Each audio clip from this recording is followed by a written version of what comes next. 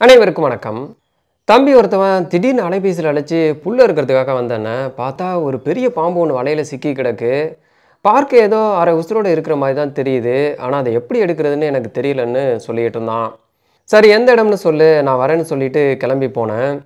போகும்போதே அங்கங்கே நிறைய வலையை கட்டி வச்சுருந்தாங்க. எல்லாத்தையும் பார்த்துக்கிட்டே அவனை தேடிக்கிட்டே போனேன். பார்த்தா வேலிக்கு அந்தாண்ட தம்பியோட தலை மட்டும் மேலே தெரிஞ்சுது. அப்புறம் பக்கத்தில் போய் வேலிக்கு முன்னாடி நின்றுக்கிட்டு ரொம்பவே விறுவிறுப்பாக புல் அறுத்துக்கிட்டு இருந்த தம்பிக்கிட்ட எந்த வலையில் எங்கே பாம்பு மாட்டியிருக்குன்னு கேட்டேன்.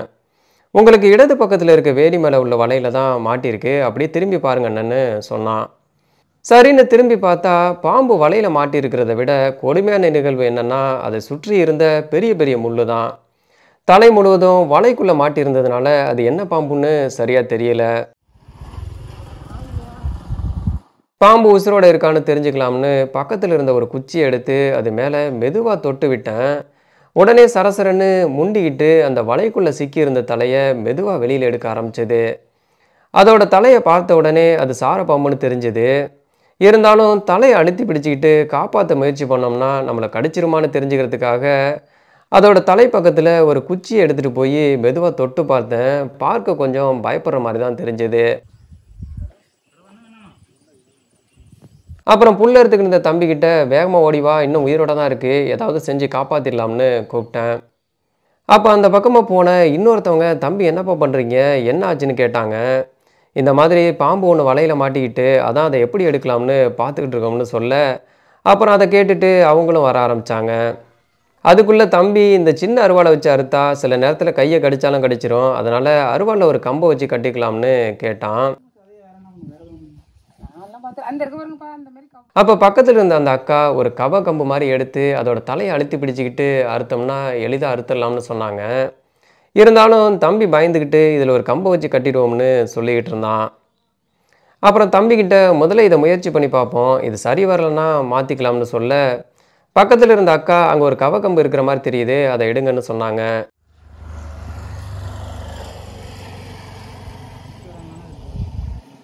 அப்படியே கரெக்டாக ஆனால் முள்ளு தாண்டி குத்தும் அங்கே பாருங்க எவ்வளோ முள்ளு. கம்பை எடுத்துக்கிட்டு தம்பி பக்கத்தில் போன உடனே கடிக்க ஆரம்பிச்சது. அது மட்டும் இல்லாமல் ஏற்கனவே அதோட வயித்துல பார்த்தீங்கன்னா அங்கங்கே நிறைய முள்ளு குத்தி இருக்கிற மாதிரி தெரிஞ்சது. அதனால் கண்டிப்பாக நம்ம கம்மை வச்சு மேலே அழுத்தினோம்னா இன்னும் நிறைய முள்ளு குத்த வாய்ப்பு இருக்குன்னு தம்பி முதல்ல சொன்ன முறையே பின்பற்றலாம்னு முடிவு செஞ்சோம்.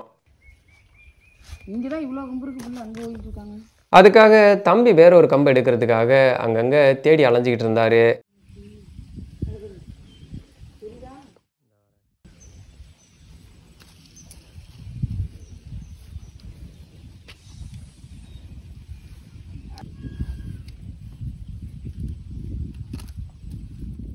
அப்புறம் எடுத்துகிட்டு வந்த கம்பை அருவாளில் கட்டி முடிச்சதுக்கப்புறம் வலையை அறுக்க ஆரம்பித்தோம் இன்னும் எனக்கு நல்ல ஞாபகம் இருக்குது என்னோட சின்ன வயசில் எங்கள் அப்பா ஒரு வலையை வாங்கிட்டு வந்தாங்கன்னா அதை பல வருடத்துக்கு ரொம்பவே பாதுகாப்பாக வச்சுருப்பாங்க. அதை ஒவ்வொரு வருடமும் மீன் பிடிக்க பயன்படுத்துறதுக்கு முன்னாடி அதில் இருக்கும் சிறு சிறு ஓட்டைகளை நூலை வாங்கிட்டு வந்து மூட்டி எடுத்துக்கிட்டு ஆற்றுக்கு மீன் பிடிக்க போவாங்க. இன்றைக்கி நெகிழியின் ஆதிக்கம் அதிகமான பிறகு ஒரு பொருளை ஒரு சில முறை மட்டுமே பயன்படுத்திட்டு அங்கங்கே தூக்கி போட்டுறோம். அதை பயன்படுத்துறதுனால வர்ற பின் விளைவுகளையும் யோசிக்கிறது கிடையாது. அதற்கு பின்னால் இருக்கும் விளைவுகளையும் யோசிக்கிறது இல்லை. அதனால தான் இந்த பாம்பு இப்படி மாட்டிக்கிட்டு இங்கே கிடக்கு. நாம் ஏதோ அந்த பாம்பு அடிக்க வந்திருக்கோம்னு நினச்சிக்கிட்டு அது நம்மளோட அருவாலை கொத்திக்கிட்டே இருந்துச்சு. இதே போல் வேறு எங்கேயாவது பாம்பு சிக்கி இருந்துச்சுன்னா கண்டிப்பாக அதை யாரும் எடுக்க முயற்சி செய்யாதீங்க. அது பெரிய ஆபத்தில் போய் முடிஞ்சிடும் இது எங்களுக்கு விஷமில்லாத சார பாம்புன்னு தெரியும். அது மட்டும் இல்லாமல் நாங்கள் ஒரு கம்பில் அருவாலை கட்டி ரொம்பவே பாதுகாப்போட தான் எடுத்துக்கிட்டு இருக்கோம்.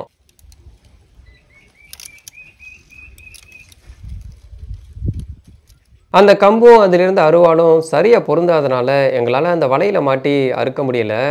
இருந்தாலும் தம்பி அதை காப்பாற்றுறதுக்காக ரொம்பவே சிரமப்பட்டு முயற்சி செஞ்சுக்கிட்டு இருந்தான்.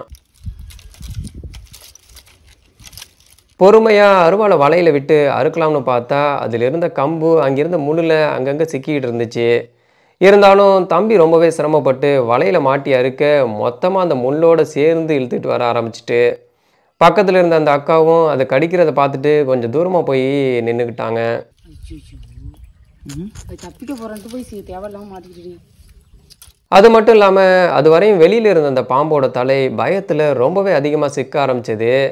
அதனால் இதுக்கு மேலேயும் பொறுமையாக இருந்து காணொளி எடுத்து இருந்தால் சரி வராதுன்னு சொல்லிட்டு வெளியில் தொங்கிக்கிட்டு இருந்த வாழை பிடிச்சு மெதுவாக இழுக்க வலையிலிருந்து நழுவிட்டு வந்த அந்த பாம்பு சில நொடிகளில் அங்கேருந்து தப்பிச்சு வாய்க்காலில் ஓடிடுச்சு. காணொளி முழுமை பெறலன்னு கொஞ்சம் வருத்தமாக இருந்தாலும் பாம்பு எந்த ஒரு பெரிய காயமும் இல்லாமல் அங்கேருந்து தப்பி சென்றது ரொம்பவே மகிழ்ச்சியாக இருந்தது. என்னடா பாம்பெல்லாம் போய் காப்பாற்றி விடுறாங்களேன்னு நீங்கள் நினைக்கலாம். இந்த பூமியில் படைக்கப்பட்ட ஒவ்வொரு உயிருமே ஒன்றை ஒன்று சார்ந்து வாழக்கூடியது. அதனால தான் இந்த நிலத்தோட இயற்கை சமநிலை மாறாமல் பாதுகாக்கப்படுகிறது. இன்றைக்கி உணவுச் சங்கிலியில் ஏற்பட்ட பிளவு காரணமாக மயிலின் பெருக்கம் அதிகரித்து பாம்பின் பெருக்கம் குறைந்து எலியின் பெருக்கம் அதிகரித்திருப்பதை கவனிக்க முடியும்.